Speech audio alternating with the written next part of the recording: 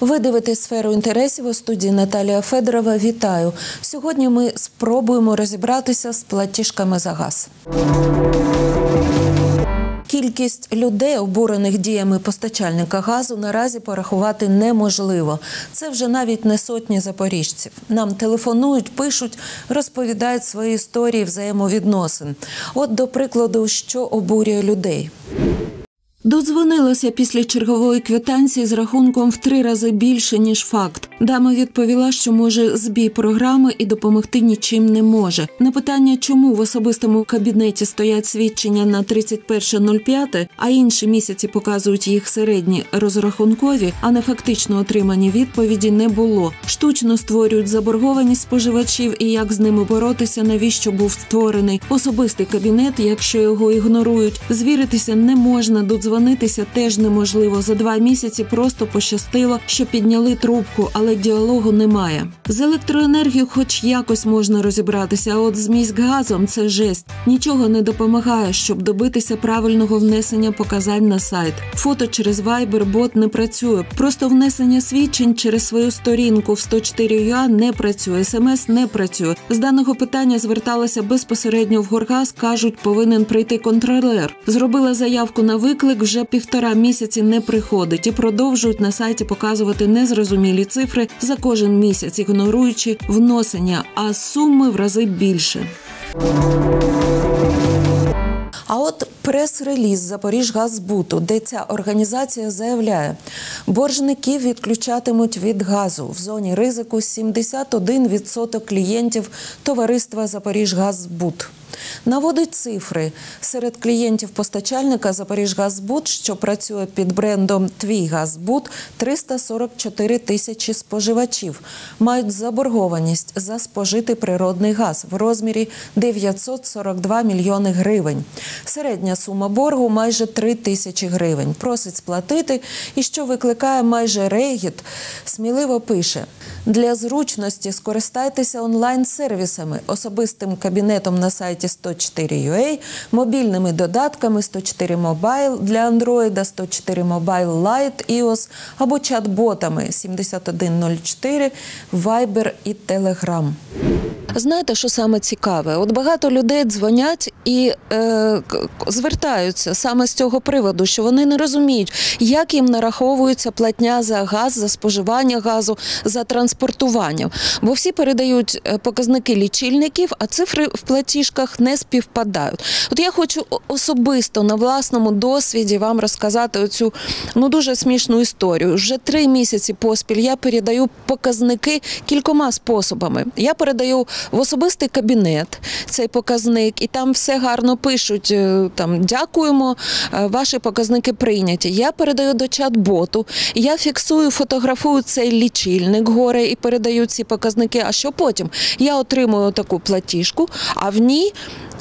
Зовсім не зрозумілий мені розрахунок, бо там якісь цифри незрозумілі. Причому, от власне мені надходять оці в платіжках суми, які значно менше за ті, які я споживаю. Тобто я отримую 19 гривень, 17, але в кабінеті мені нараховує 0,3 куби. Тобто, яким чином 0,3 куби перетворюються у 19 гривень, я не розумію, як вони перемножують, яка там в них зовсім математ- математика ця. Потім мені зовсім не зрозуміло, е, яким чином йде облік. У самих монополістів, тобто як вони розбираються з цим. Е, Власне, не тільки мені дзвонять, дзвонять ще й в редакцію наших новин. І зараз ми поговоримо з шеф-редактором наших новин Ольгою Лебедєвою, яка теж вже кілька місяців розбирається з цією темою. Олічка, вітаю. От розкажіть, чи це, чи це такі єдиничні от, е, випадки? Ні, насправді е, редакція Алекс Інформу е, завжди дуже чу, чут, чутко реагує на запити суспільства, і саме до нас е, е, всі ці дзвінки надходять десятки щодня. І е, люди скаржаться, у когось навпаки завищені показники. Тобто людина говорить: я споживаю 5-7 кубів, нараховують за 15-20. У когось, як у вашій ситуації, занищені показники. Дуже багато скарг надходить на відключення від газопостачання без явних на те причин. Дуже багато скарг надходить на те, що люди не розуміють позиції транспортування. Але головне питання на сьогодні: що коїться з тарифами, як е, вони скачуть, чому вони змінюються, як обрати постачальника. Тобто немає прозорих е, алгоритмів, е, немає розуміння людей, але є тотальний страх. Є тотальний страх перейти до іншого постачальника, тому що ми всі знаємо, на жаль, приклади нашої країни, коли ми переходимо е, на щось інше комерційне, потім якась реформа, банкротиться фірма, і люди залишаються, як то кажуть, у розбитого так, у розбитого корита. І всі намагаються триматися монополіста, тому що він колись був державний. До речі, не всі сьогодні розуміють, що це вже давно не, не державна компанія. Це приватний да, монополіст, але от ваші журналісти пробували, були такі ну, спроби розібратися з цим, ну принаймні нарахуванням. Що кажуть вам? Кажуть. е, Ну, е, по-перше, якщо ми звертаємося до Запоріжгазу, за е, як, як і люди звертаються, то там все просто ми. Тільки транспортуємо, тобто до нас цими питаннями можна не звертатися. Запоріжгазбуд е, е, це компанія, яка не така відкрита, як би нам хотілося. Насправді можемо це констатувати. І навіть якщо нам вдається домовитися про якесь інтерв'ю, то це якісь більш загальні фрази. А саме основне е, це те, що до нас надходять прес-релізи майже щотижня про те, що у нас 70% е, запоріжців можуть бути відключені від газу, тому що вони боржники. А як вони стали боржниками? Можливо, саме через такі нарахування, бо це ж рахує система, вона обліковує ці показники. А може просто їх неправильно зараховують. Ну так здається, що ця система не працює зовсім, і дізнатися, чому вона не працює, це теж неможливо. І до речі, от ви праві, що ти права, да, що прийде яка якихось е, ну якась людина, да, там якийсь інженер чи хто там контролер, перевірить е, лічильник. Якщо людина сплачує по квитанції, вона просто впаяє якийсь дикий борг і відключить весь будинок від цього. Це абсолютно реальна, на жаль, сьогодні ситуація, і дуже хочеться досягнути якогось порозуміння і прозорих алгоритмів для того, щоб люди могли ними користуватися, а не те, що ми маємо зараз, якийсь безлад. От зараз ми спробуємо поїхати. І, Добре. Да, і оцю от вежу там взяти штурмом. Ми бажаємо вам успіху. Дякую. А ми поїхали.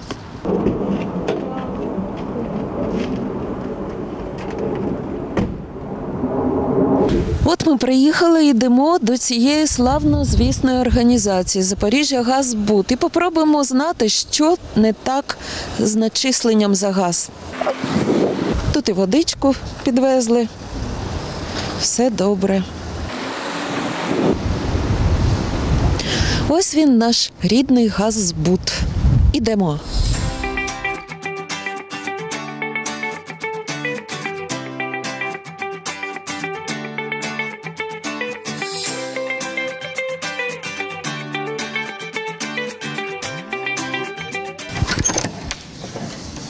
Зачинено, директора нема. Будемо шукати далі. Так. А подивимось тут. Зачинено. Але ж контакт-центр не відповідає.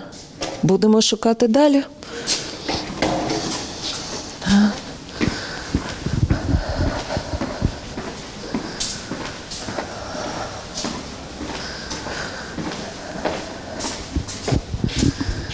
Обслуговування фізичних осіб.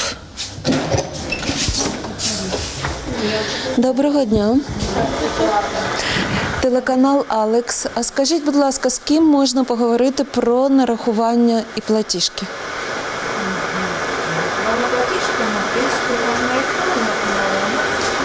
До до вас можна звернутися? Можно, пожалуйста? Можно по- по- вас на минуточку? Мы приехали разобраться с вопросом о начислениях по платежкам. К нам обращается очень много людей. Почему Да, не понятно. соответствуют да, объемы тем э, платежкам, которые выставляются.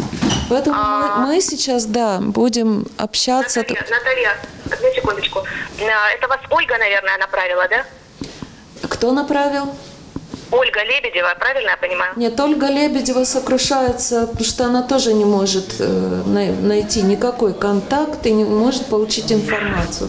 Ну как же она не может найти никакого контакта, если мы с ней э, договаривались э, полторы недели назад о том, что когда я выйду из отпуска в 20-х числах, мы с ней повторно созвонимся и назначим встречу, которая будет удобна и вашей съемочной группе, и вашему телеканалу, и нашим сотрудникам, и Но директору люди в же не могут ждать, когда вы выйдете из отпуска. Жалобы Я понимаю поступают прекрасно, но, к сейчас. сожалению, послушайте, ну, к сожалению, сейчас я как человек и сотрудник, который отвечает за работу со СМИ, я сейчас нахожусь в отпуске, выйду 22 числа, мы сможем с вами решить этот вопрос. Директора сейчас тоже нет. Но директор есть, но он вышел на обед, как нам сказали. Когда директор придет, я думаю, он в состоянии ответить на наш небольшой вопрос.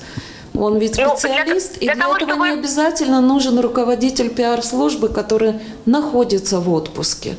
Ведь вы не можете Для того, тормозить чтобы, работу для того, целой чтобы организации. ответить, для того, чтобы полноценно и э, максимально четко ответить на ваш вопрос и предоставить вам действительно нужную и полезную информацию, нам нужно подготовиться, собрать статистику, данные, цифры, для того, чтобы отвечать Нам будет быть- достаточно, послушайте, нам будет достаточно комментария руководителя.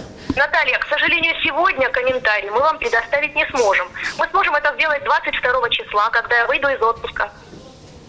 То есть без вас руководитель... Вы, вы руководите руководителем вашей организации, что ли? Нет, нет, я работаю и Ну так э, позвольте нам пообщаться с директором этой организации. Так как это и происходит во всех Наталья, нормальных послушайте. организациях, Наталья, понимаете? Наталья, послушайте меня.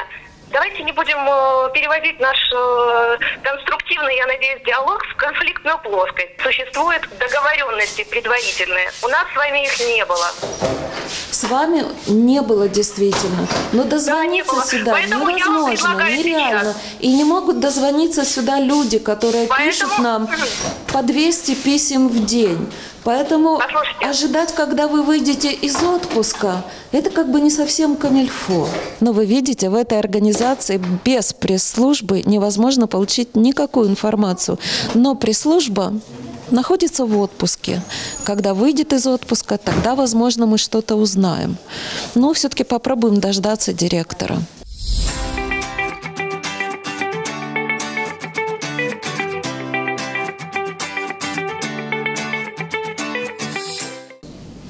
Так, от дивіться, зараз 13 годин 25 хвилин, і я знову спробую побачити, чи є тут директор. А директора нема. Не хоче нас приймати.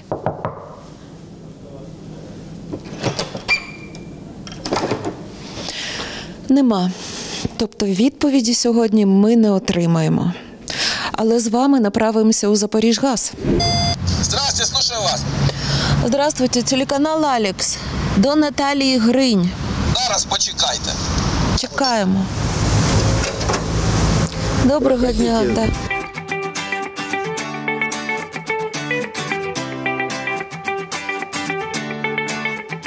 От Запоріжгаз люб'язно погодився надати нам маленький коментар з приводу от всіх цих платіжок та нарахувань. Зараз підемо і поговоримо з Наталією Грінь. Це прес-секретарка цієї організації. Йдемо.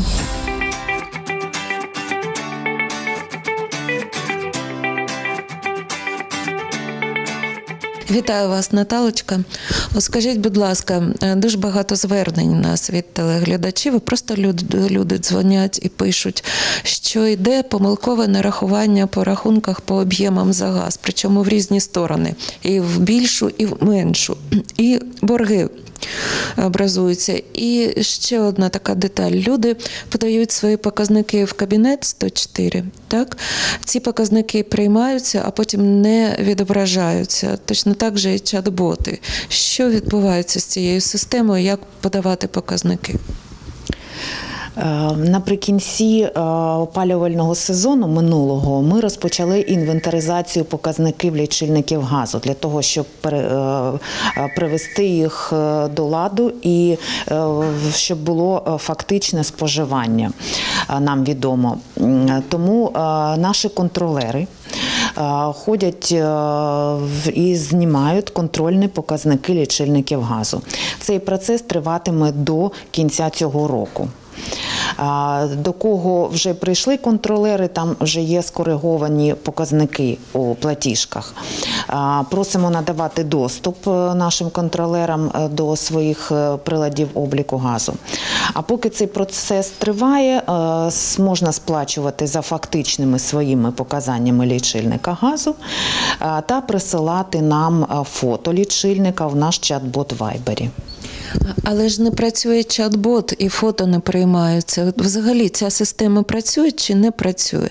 Бо ні чат-боти, ні кабінет не відображають. Це ж чисто чи суто математична чи технічна помилка. Поки проходить процес інвентаризації, е, краще е, сплачувати за своїми фактичними показаннями та чекати контролера. От скажіть, контролери вони приходять у робочий час, якщо людина працює. Ні, е, ми е, змінили графік роботи контролерам. Вони працюють у нас у вихідні дні, також е, для зручності людей. Тому ходять вони, вони в суботу та неділю. А якось попереджають? Так, попереджають. А от скажіть, кількість ваших клієнтів вона ж сягає не сотень, а тисяч, так, по Запоріжжю. Скільки контролерів е, потрібно, скільки у вас є, щоб забезпечити от перегляд всіх лічильників у всіх ваших клієнтів? Е, Ми, у нас е, достатня кількість контролерів, щоб цей процес забезпечити і закінчити його в цьому році. Ми собі поставили такий термін до кінця цього року. Тобто і тоді запрацюють ці кабінети всі, і чат-боти, і лічильники, показники будуть прийматися так, як це було, ну принаймні на початку року. Так, е, все запрацює, коли закінчиться процес інвентаризації, е, все буде працювати. Тому а людям радимо сплачувати за своїми фактичними показниками лічильників. Дякую. Цікаво послухати коментар юриста з приводу дій у відношенні постачальника та й взагалі договірних відносин із споживачем. І ми обов'язково поговоримо з адвокатом у наступній програмі. А тепер гарні новини. Річницю свого життя відсвяткувала Кушугумська об'єднана громада. Один рік це краплина в історії. Але ж цікаво, що вдалося зробити за цей маленький строк. Жителі Балабина, Кошугума та Малокатеринівки святкують день народження громади.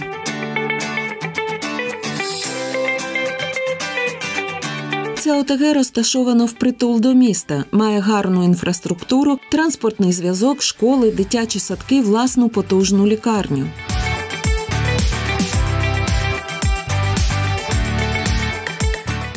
Родзинка цієї громади це розвиток спортивної інфраструктури та велика увага, яку приділяє керівництво ОТГ здоровому способу життя.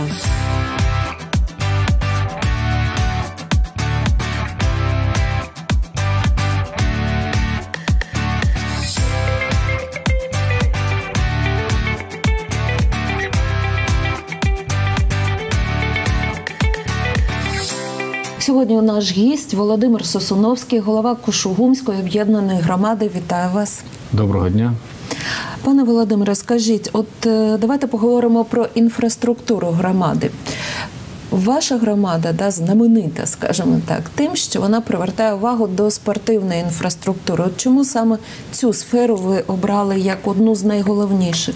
Ну, по-перше, наша громада знаходиться в п'ятірці найбільших громад е, в області. Да, Кушумська громада налічує три величезні гімназії. Е, Балабинська гімназія 800 дітей, Кушугумська гімназія 850 і 300 дітей Малокатеринівська. Тому, от якщо брати, майже 2000 дітей тільки в навчальному освітньому просторі знаходяться. І однозначно ми розуміємо, що це питання е, вибудовуємо політику на місцях таку, щоб потрібно було саме розвивати сторону здоров'я. Е, Спорту, фізичної культури. Тому у нас і на сьогодні працюють, я думаю, що одні з найкращих е, секцій, кружків, е, шкіл спортивних на території. А от, наприклад, які ви увагу приділяєте фізкультурі, да? чи саме спортивним таким Ну, ви знаєте, є у нас і спортивні напрямки, і фізкультурні. Ми не розділяємо, тому що дійсно ми повинні заботитися про цих дітей і дбати про цих дітей, і залучати їх до цього, і ставити яку мотивацію якусь.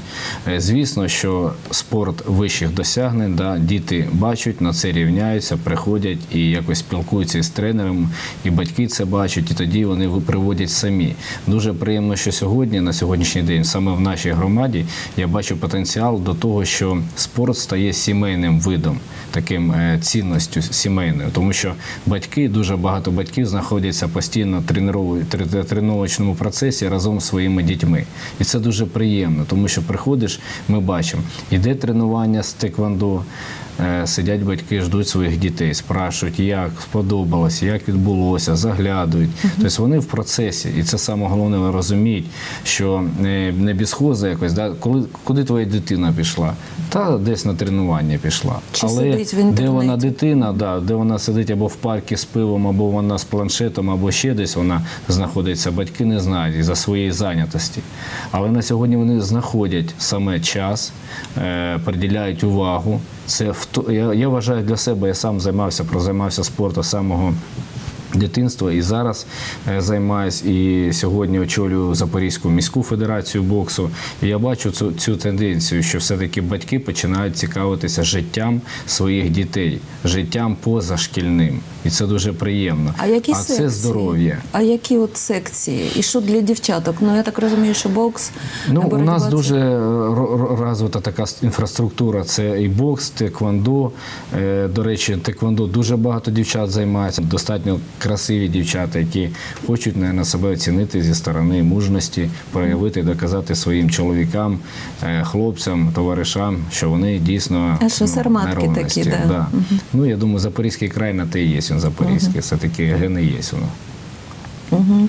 А ще, от що стосовно якихось інфраструктурних так е, вкладень, да, грошових, от в спорт чи, чи фізкультуру, що Ну, на території громади зроблено? Мгм. Саме головне це однозначно освітній простір, це дошкільні освітні заклади. У нас, у нас їх сьогодні чотири. Е, Малокатеринівський в 2019 році повністю відбулося реорганізація, нове будівництво, реконструкція дитячого садочка, е, новий садок, сучасний садок. Е, Є там спортивний майданчик. На сьогодні ДБН, е, будівельні норми забороняють без спортивних майданчиків, без культурних, там, без спортивного е, приміщення. Тобто, і це ну, достатньо гарно, хоча і ціна величезна на будівництво реконструкцію. Але е, все-таки сьогодні багато проблем. І не проблем, а багато різних е, таких направлень, як е, велике будівництво президента України, да, в якому нам зробили повністю дорогу оновлену, нову дорогу, яка не робилася майже 45 років, е, навіть капітально е, поточні ремонти. Балабине, в да, Балабине, шикарно. да. На сьогодні є проєктування, проєктована робота надалі. І ми головне знаємо, що сполучення це основа. Коли люди починають їхати через нашу громаду, а не виїжджати на трасу, з однієї сторони це погано, бо розбивають, а з другої сторони ми бачимо, що люди приїжджають. На сьогодні ми, як утворили громаду, об'єдналися, ми бачимо е, потенціал е, для культурного досугу дітей. Тому ми парк е, почали компенсувати і заміняти чим. Тобто у нас парк 3 гектари. Сьогодні ми туди, от також в рамках. Президентської програми е, майданчики спортивні, мультифункціональні. Е, Всім громадам по 450 до 500 тисяч десь дають майданчики. І от уже на днях у нас будуть Саме відкриватися. спортивні, так, з Да. тренажерами. Да, сьогодні ми встановили е, майданчик, який мультифункціональний він був. Ми його оновили, поставили таку програму, яка наводиться ну, своїм гаджетом, і з'являються всі олімпійські чемпіони. Вибираєш чи ти новичок, чи ти середнього ступеня, чи ти професіонал. І Задається там ступінь майстерності, і якийсь із, із тих чемпіонів, якого ми обрали, там або Жан Беленюк, там або е, ще там е, гімнастки. Тобто ну, для дівчаток, для хлопців вони вибирають програмі і проходить в онлайні е, ну, в записі е, відповідна фізкультура, да, фізична якась зарядка. І це дуже приємно. Ми вже бачимо, що діти починають цим займатися, бо у всіх є е, телефони, вони їх наводять штрих-код, сканують і вже займаються е, якось цим. І от сьогодні ми ждемо вже, дякуючи обласної адміністрації, раді, там е, президентській програмі, ці встановлюють е, майданчики. І це будуть дійсно круті майданчики. Ми колись знімали подвір'я в багатоквартирних будинках, да, отут у Запоріжжі. До нас налетіли купа підлітків, такі 12, 14, може там 15 років були.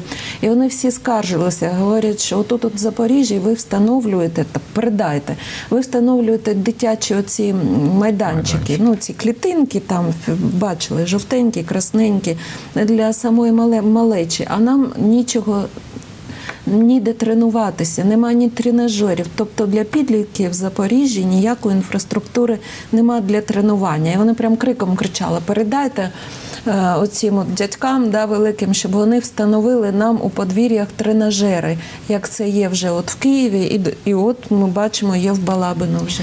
Ну, я на сьогодні хочу сказати, е, депутатський фонд, да, е, економфонд, який роздається там майже там 700 тисяч гривень, да, і вже понастанавлювали цих е, дитячих майданчиків скільки. Ну, головне, як кажуть, встановити одне, а ще потрібно за ним дбати. Охороняти і так далі. І ми бачимо сьогодні, в якому стані вони знаходяться. Е, тому тут питання ну, і до керівництва, і так далі. Ми розуміємо, і не така територія велика, да? і тому у нас сьогодні вже працюють е, шерифи, як ми їх називаємо, поліцейські громади. Ми їм придбали автомобіль е, разом в співпраці з обласним управлінням, да? які нам, до речі, ну, таку дружбу і руку допомоги дали. І ми бачимо, ми перші з новостворених громад отримали цих поліцейських. От, автомобіль ми зразу виділили кошти на першій сесії нашій, це ну, в січні місяці. І сьогодні ми бачимо вже е, плоди і результати цієї співпраці, тому що вони знаходяться е, біля нас, біля управління, біля селищної ради. Зустрічаємося. Е, Вони е, регулярно ходять по цим спортивним майданчикам, по дитячим майданчикам, проводять е, превенцію цю з е, дітьми, якось розмовляють, попереджають там пиво не пити, там старий, ну хто постарше відправляють. Ну і починаємо е, штрафувати, тому що е, однозначно тільки цим можна боротися. Так, це правда. А от скажіть, ви ж знаєте, в цьому році було багато подій, отакі випадки, коли діти потрапляли. Ну, це не нещасні, навіть трагічні випадки, коли помирали від сердечної недостатності. Ми бачили в дитячих лагерях, це було на уроках фізкультури. От з чим це пов'язано, що наші діти вони слабкі, слабкіші стали? Ну, по-перше, е, це фінансово-матеріальний стан сімей. Да? Ну і основне це те, що ми бачимо, що за цей рік е, пандемії, да, е, коронавірусної інфекції і так далі. Е, Я особливо маю двоє дітей, двоє дівчат. і Я бачу, як е, з трудом можна сказати, їх вже виганяєш на вулицю, щоб вони в вихідний день, бо в мене немає в них вихідних. Щоб ви розуміли, у мене поняття одне, і я для себе так притримуюсь. Діти повинні все своє вільний час чимось зайняті або читанням, або малюванням, або спортивними вправами, фізичною культурою. Тому я І рухатися, і рухатись. Да. Тому у кожного свої є зобов'язки. Сім'я це сім'я. Це вже величезний такий е, ну, відповідальність перед своїми дітьми. Ми їм даємо і здоров'я, і освіту, і так далі. Тому ми бачимо, що за цей рік е, всі е, приходять і жалкуються, кажуть, що діти вже майже читати не вміють. Да? Багато, бо ну, зрозуміло, що таке онлайн навчання. е, Всі зрозуміли, бо картинку поставили, а самі грають в комп'ютер. Е, Ну, от, е, а дітей треба виганяти, треба займатися однозначно. Чи то е, пандемія, чи то введений режим там, червоної зони чи якоїсь. Однозначно є подвір'я, є де вийти, є де подвигатися, побігати. І це особлива забота повинна бути, бути батька, батьків, тому що ми відповідальні за своїх дітей однозначно. Тому спорт, рухливість і дає такі результати, що діти просто е, малоподвижні стають з такими патологіями, як сьогодні відбувається. Да, на жаль. А от до речі, що стосується дорослого населення, ну от е, вся ця інфраструктура є якісь речі для дорослих, для е, ну зрілих людей, для старих. Вони ж теж живуть і мають щось рухатися. Ми створили е, на базі також нашого будинку культури та спорту основного. Ми створили і секції для дорослих. Тобто у нас і шейпінг, і фітнес ведуть професіональні спортсмени, які займаються в місті Запоріжжя. Вони набрали групи. До речі, групи немалочисленні. Тобто я бачу там і по 30 е, ну, людей, які Люди з задоволенням, да, Причому я дивлюся і в різній комплекції, і худі, і повні е, витанцьовують так, що ну, в них там, дай Боже. Тому я бачу, хто хоче займатися своїм здоров'ям, той займається. Тому є, ви приходьте, є, займаються і е, є відповідні спеціалісти, А які ви не займаються. плануєте робити якісь велодоріжки, там от в цьому сенсі, що це Є у нас е, і в цьому парку, в Кошумському, і в Балабинському е, зроблені вел- велодоріжки, по яким малеча, діти, дорослі от катаються круг в Балабине там 400 метрів. Зараз ми по добудові хочемо реконструкцію ще додати до парку в Кошогумі. Там буде десь е, майже 800 метрів круг. Тому є де е, їздити, розвиватися. Тому у нас ще багато приплавневої зони, де поїхати. І наші е, ПЗФ, природно-заповідний фонд, і лісхоз, який є на території. Тому ну, ми це пройшли. Я сам виріс в Балабине неподалеку лісового масиву. Звідти ми не вилазили. А от до речі, е, вам досталася дана саме велика громада, да, приміська, і туди входить три великі населені пункти. А як от це все гармонійно розподілити між Балабином, Кушугумом, Малокатеринівкою, щоб от інфраструктура була вирівняна? Ну, саме головне це е, порозуміння серед громади. Є у нас два прекрасних старости. Я сьогодні бачу їхні результати так от роботи. У нас центральна садиба Кушугум, в Балабині є староста, в Малокатеринівці є староста. Е, До речі, в Малокатеринівці колишня е, селищний голова. І я бачу, що в цім- цьому тандемі ми питаємося зробити багато речей. На сьогодні по інфраструктурі в Малокатеринівці е, там е, була тільки центральна освітлена вулиця, десь частично. На сьогодні ми виділили е, величезну суму ко- кошт. Сьогодні ми вже е, проходимо тендерні закупівлі, і я думаю, що в грудні місяці Малокатеринівка буде сучасним, обладнаним. Це ледовські прожектори стояти повністю 100% буде освітлена селище Малокатеринівка. До речі, тільки їхав сюди. е, Ми ну, почали роботу медіатеки, тобто колишню селищну раду в кабінеті селищного голови, де тоді було тепер це комунальний об'єкт. Ми зробили е, медіатеку, Е, такий е, бібліотечний хаб. Ми встановимо туди комп'ютери, книжечки новенькі, переберемо, бо у нас були бібліотеки в Малокатеринівці в школі, в приміщенні, і в Кушугумі, в приміщенні селищної ради. Але сьогодні ми там переоборудували, зробили ЦНАП, і от сьогодні ми перенесемо частично на Малокатеринівку цей бібліотечний. Тому ми розуміємо, що сьогодні дітей дуже тяжко затягнути в бібліотеку, да? але якщо ми встановимо комп'ютери, пуфи, пуфіки там для дітей, якісь іще речі поставимо. Середовище для спілкування. Да, Пане Володимире, от я скажу не компліментарно, але ж все-таки це буде як комплімент. Ви талановитий керівник, ми всі знаємо, і гарний управлінець. Але от зараз е, вже опублікований проект бюджету. Да, 21-го він буде проголосований. Ну чи будуть, будуть його розглядати? От в цьому бюджеті. Ви, якщо дивилися, на що ви розраховуєте? що стосується громад взагалі. Ну, е, питання теж стається, як і в цьому році. Саме головне, щоб не забрали, не забрали відсоток акцизного податку. Це основний годувальник нашої громади е, від па- па- паливно-мастильних е, АЗС. А такі пропозиції там є. Були пропозиції, є, зменшують там порядка, там було то 73, то 63, то 65 відсотків. Ну, подивимося, собирало нас міністерство е, і е, ну, брали якби консультаційні е, питання. Не знаю, до чого вони дойдуть, але ми бачимо, що ну, на сьогодні тяжкіше стає, тому що все-таки в громаді треба працювати над податковими зборами. І я вам хочу сказати, багато маємо будинків, які вище норми 120 квадратів. Які оподатковуються кожен квадратний метр на сьогодні по мінімальної станки- ставки заробітної плати, це десь квадрат 35 гривнів. Тобто, якщо у вас 200 квадратів будинок, то це е, плюсом 80 квадратів умножаємо на 30 гривень, 3 8, 2400 на рік. Я вважаю, це невелика сума, 2400, якщо у вас 200 квадратів будинок. Це не бідні люди, які вже проживають. Хоча є і по 300, і по 400, і по 600 квадратів. Тому я думаю, ми зараз обробляємо. Ми, до речі, зараз замовили квадрокоптер, будемо обробляти по території, ну, дивитися територію, виявляти ці будинки, бо не всі е, поставили забори величезні, і там не виявиш, який не зайдеш туди, не залізеш. А от на який бюджет ви розраховуєте?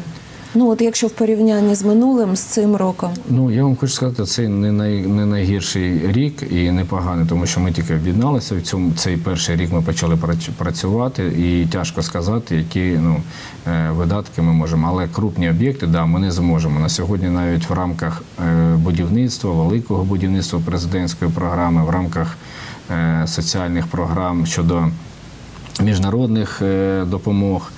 Е, 20% співфінансування. Ми хочемо в селищі Кушугум однозначно збудувати новий садочок е, на 100 місць.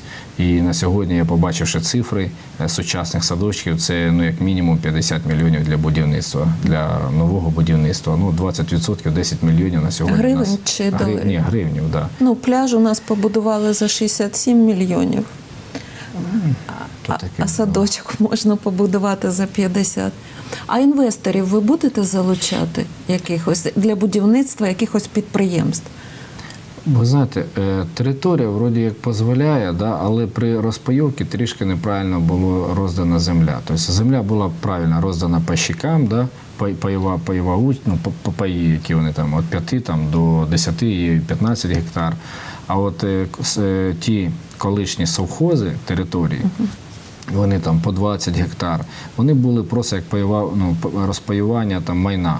Тобто пороздавали і свинарники, і там корівники і так далі. І на сьогодні вони всі перепродані комусь, але там ніхто нічого не робить. Тобто вони всі в продажах стоять, хто скільки просить за них. Тому це був би гарний інвестиційний простір для людей, які б захотіли зайти, побудувати щось і так далі. А як вирішити цю проблему? А, а вже це, це приватна власність, і вирішити майже ну, ми її ніяк не вирішимо. Тільки люди самі, якщо ну ми, якщо є у нас інвестор, приходить, ми задаємо питання, ну, шукаємо людей, звертаємося, е, чи є в них бажання або продати, або здати в оренду. Ну в орендних відносинах ніхто не хоче ну, в кошти влажувати. Тому ну так і відбувається. Це 99% е, таких питань в Україні. Тобто вільної землі нема вже. Її давно немає, тому що тоді ще була розпайовка майна, і оце майно, коли паювали, там якась будівля була, їх на всіх пайщиків вирізали по 10 квадратів, по 5, там спільно сумісно. Потім вони просто продавали своє свій пай, по 10 чоловік збирався, або фермерам, або ще комусь. Ну і багато розібраних на стадії фундамента стоять, але люди вже ті, коли 2008 рік він підкосив е, навколо міста Запоріжжя, да, коли ціни були пікові, да, роздуті, і все повикупали. Є власники, заростає амброзії, шукаєш, а той перепродав тому. Ну, до речі, дуже гарно, що сьогодні дали нам повноваження е, ну, по реєстрації. Ми бачимо, де хто, і ми можемо ці витягувати документи і вже звертатися. Ну, от шукати. Ну це ж велика проблема не тільки у вашій громаді, Це, це, і у Запоріжжі, коли ми бачимо величезні пустирі навіть серед центру міста, занедбані такі, де нічого десятиріччями не робиться. І мені теж цікаво, чи немає механізму, коли можна все ж таки щось робити, чи те, як якась ну, особиста позиція? Гарна була ідея, вона привезена з Європи, індустрія створення індустріальних парків. Ну вона якби дос, ну, вона актуальна, але ну не на всіх е, регіонах це можна зробити. Нема безвихідних ситуацій, як Да, кажуть. хто хоче, Є, зробить. да, хто хоче, то зробить. Дякую вам за цікаве інтерв'ю. Е, Зі святом вас, так, з річницею громади. І нехай все буде добре, розвивайтеся. Дякуємо. Вчіться новому, рухайтеся в мейнстрімі, не витрачайте час на сумні думки. Треба пристосовуватися до нових умов та змінюватися, і все буде добре. Бережіть себе та своїх рідних, будьте здорові. Побачимось за тиждень. Щасти.